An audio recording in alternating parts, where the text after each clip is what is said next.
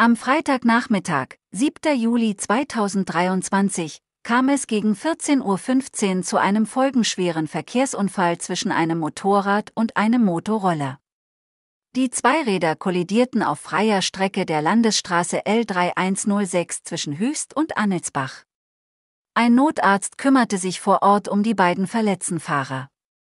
Sie wurden in Krankenhäuser eingeliefert. Die Feuerwehr nahm ausgetretene Betriebsstoffe auf. Die Polizei ermittelt, wie es zu dem Unfall kommen konnte und prüft, ob etwa einer der beiden Beteiligten ein Wendemanöver vollzogen hat. Zum Unfallzeitpunkt wurde die Straße von vielen Verkehrsteilnehmern als Umleitungsstrecke für die durch einen Brand gesperrte www.b45.de genutzt. Durch die jetzt unfallbedingte Sperrung der L3106 kam es endgültig zum Verkehrschaos rund um Höchst.